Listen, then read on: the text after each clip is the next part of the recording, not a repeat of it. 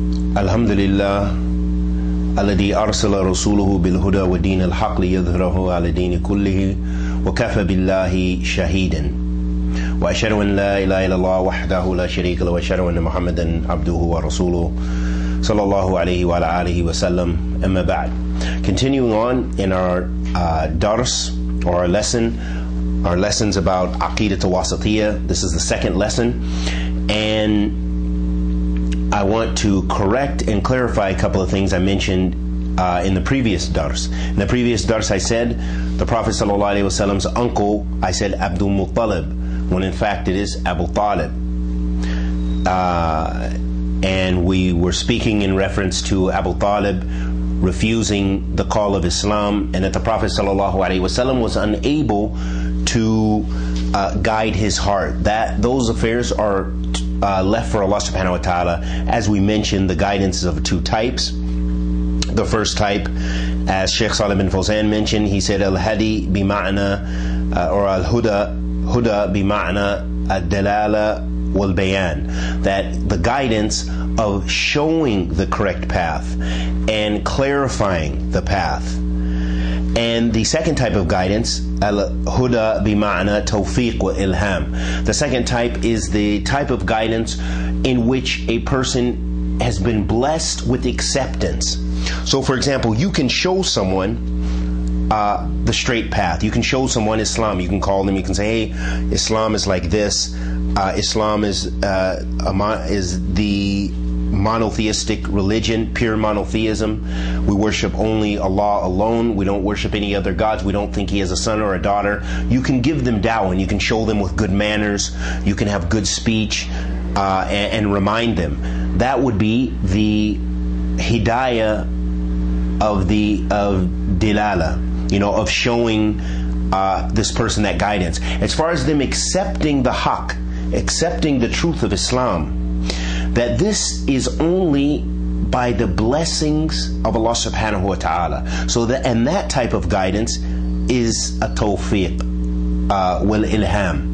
So that type of guidance is reserved only for Allah subhanahu wa ta'ala that the result of a person accepting guidance or accepting advice You can only show the, the tariq. And this was the uh, guidance of the messengers, alayhim after salatu wasalam, of dilala wa bayan, that they were showing and clarifying the truth uh, for, the, for, for people. As Allah subhanahu wa ta'ala says, وَإِنَّكَ لَتَهْدِي إِلَى صِرَاطِ مُسْتَقِيمٍ And verily you guide to the straight path.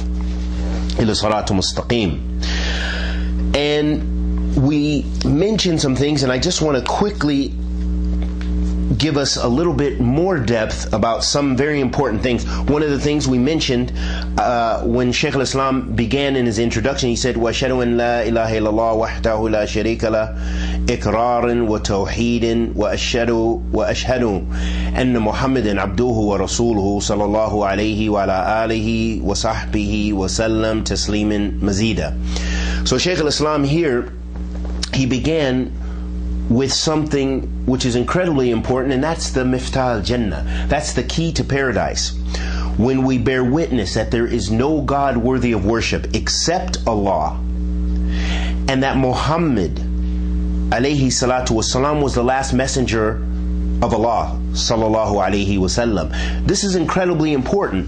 Why is this so important? As all of this, all Muslims, this is ma'lum min ad-din bidurura. This is something every Muslim should know this. However, many people who utter the shahada do not know the meaning. Some of them to the extent that they are not even Muslim, and some of them to the extent meaning because they don't practice the Shahada at all. They worship graves, they supplicate to the dead, they supplicate to their uh, sheikhs and so forth, and their marid, and uh, you know all various forms of bid'ah and kufr, wazandaka. And others, maybe they might have the excuse of ignorance. You know, maybe no one has ever taught them, and there's no people of knowledge in their place of residence or their balad, and this is reserved between them and Allah subhanahu wa ta'ala. But Ahl Sunnah we make judgments by what is apparent to us. So if we see someone worshiping a grave, then we believe, we hold that they are disbelievers, that they have left the fold of Islam, and that they are, they require bayan, they require for us to clarify for them that no, Islam is free from grave worship, and Islam frees you from grave worship, and that in fact all of your worship uh, should be directed to Allah subhanahu wa ta'ala, and that supplication should not be made to our, our sheikhs or the dead saints or the, the our, our, our fathers or our salaf but rather the supplication is to Allah because Allah subhanahu wa ta'ala let us know that dua is ibadah. And the Prophet said, alayhi salatu wasalam, in a sahih hadith, fi Tirmidhi, qala ad-du'a hu ibadah alayhi salatu wasalam, that supplication is ibadah. So this lets us know the importance and makana and manzila of the shahada, and that the shahada is the miftah al-jannah. But as some of the Salaf used to say that with that miftah, that key to jannah, every key has teeth. And those teeth are the shurut or the conditions for the shahada. So it's very important that every Muslim understands the shahada uh, and what it means to bear witness that there is no God worthy of worship except Allah alone, and He has no partners. And that this forms monotheism and affirming that monotheism, and then bearing witness that Muhammad ibn Abdullah sallallahu alaihi wasallam was his slave and messenger, meaning that we don't raise the Prophet sallallahu alaihi wasallam above his position. We don't worship him as the Christians worshipped, uh, fell into the worship of Jesus alayhi salatu and as many other communities and many amongst the ummah have fallen into uh, raising the status of the Prophet ﷺ and others. They worship. If you go to Ethiopia, you'll find a group uh, that they that actually worship Najashi. You'll find this. This is well known. They go to the place where he's buried. Radiallahu ta'ala anhu, as he was a tabi'i, uh, Allah yarhamuhu, and they make tawaf around his grave, they supplicate to his grave, and they take so much pride in the fact that he uh, was uh, from their their people, and that he was a tabi'i, that he knew Sahaba, radiallahu ta'ala anhum ajma'in, and that the Prophet sallallahu alaihi wasallam prayed uh, Salatul Ghaib, the janaza, uh, the janaza uh, over him, even though he was in another balad, that the Prophet ﷺ made Salatul Ghaiba. Alayhi salatu. So knowing and understanding the meaning of the Shahadatain is imperative for every Muslim.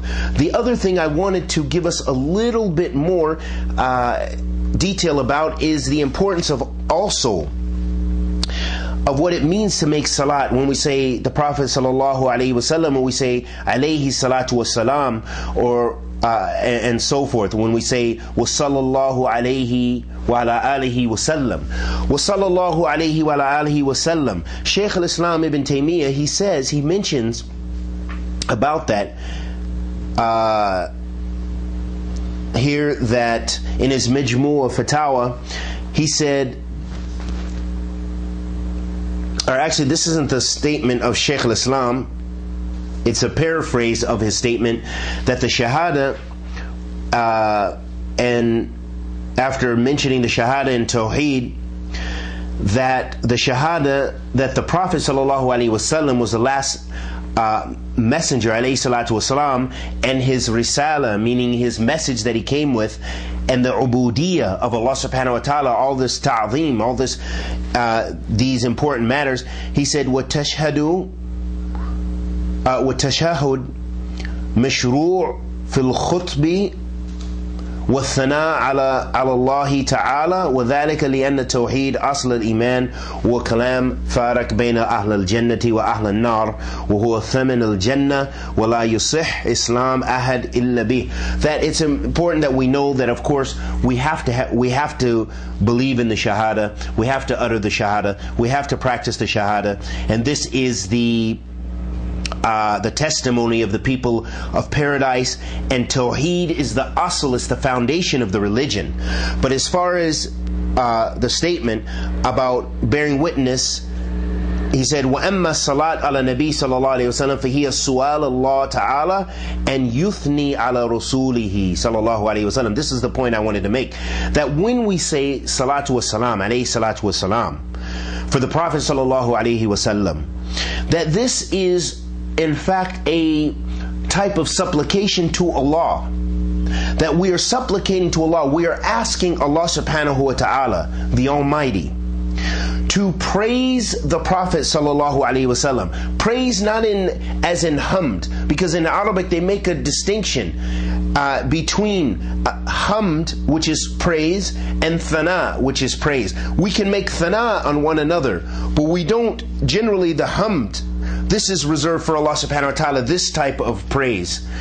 And so making salat or salam ala Nabi sallallahu alayhi wasallam, this is asking Allah subhanahu wa ta'ala to praise, to make thana on the Prophet sallallahu alayhi wasallam. You know, we're asking Allah to increase His barakah, increase His His blessings, and to وأن يظهر فضله وشرفه and also for Allah to make apparent the Prophet sallallahu alaihi wasallam his his um, his fadl, his his his his greatness, and his sharaf, meaning his his uh, his position and his his esteem and his greatness. That all of these and and and to and for Allah Subhanahu wa Taala to bless him and to make him uh, closer to him, and this is what it means. For salat Allahi ala rasulihi hiya thana'uhu subhanahu عليه وإظهاره لفضله وشرفه وإرادة تقريمه وتقريبه So all of this is just in reference to when we make salat on the Prophet sallallahu alaihi wasallam it is in fact we are asking our Lord the Almighty, the Creator of the heavens and earth, the only one worthy of worship, uh, the only one uh, who we direct all of our praises to, to uh, raise the makan and, uh, of the Prophet sallallahu alaihi wasallam, and to uh, that Allah subhanahu wa taala increase the Prophet sallallahu alaihi wasallam being mentioned and his, his, his great status alayhi salatu wasalam. Then the Shaykh said, أما بعد فهذا الاعتقاد الفرقة الناجية المنصورة إلى قيام الساعة أهل السنة والجماعة. So Shaykh al-Islam ibn Taymiyyah rahimahullah ta'ala he said, then this is the i'tiqad, the creed of the saved, uh, the successful and saved group until the day of judgment. And we mentioned what that means yesterday. And then he said, after that he said, Ahl Sunnati wal Jama'ah, meaning that they are Taifat al Mansura. Ahl Sunnati wal Jama'ah, they are the Taifa Mansura. They are the ones who, bi'idnillah ta'ala, are saved from the hellfire.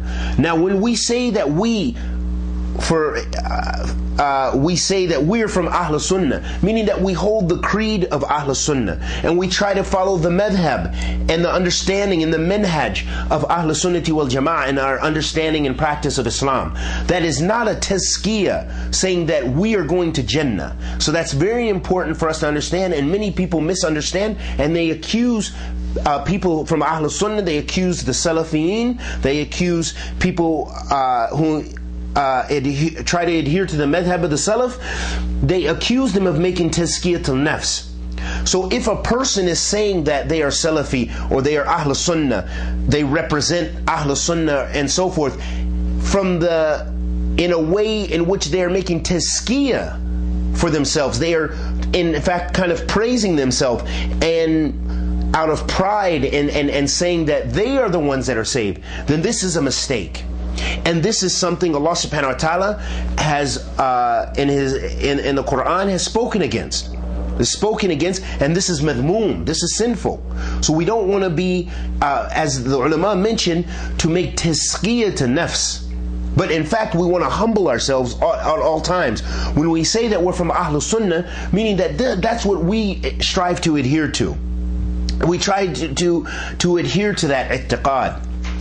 And some of the important things we want to mention as we mentioned yesterday ومقصود من إطلاق السنة هنا معناها اصطلاحي وهو شمولها للإسلام كاملا So what we mean by the sunnah when we say أهل السنة والجماعة we're referring to the sunnah meaning Islam in totality and the most befitting statement is the statement we mentioned yesterday, the statement of Imam Barbahari, rahimahullah ta'ala, اعلم أن الإسلام هو سنة وسنة هي الإسلام ولا يقوم أحد ولا يقوم أحد إلا بالآخر فمن فمن السنة لزوم الجماعة ومن رغب غير الجماعة وفارقها فقد خلع رب آه ربقه أو ربق ربقه al-Islam min unaqihi wa kana dhalin mudillin.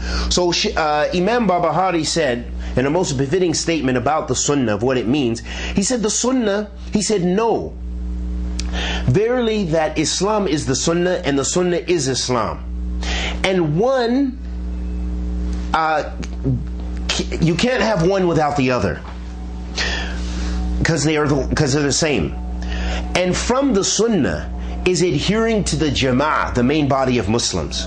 So whoever desires other than the Jama'ah, other than the main body of Muslims, and they divide and split from the Muslims, then they have uh, freed themselves, their necks from the the bonds, if so to speak, or freed themselves from Islam. They've divided themselves, they separated themselves from Islam.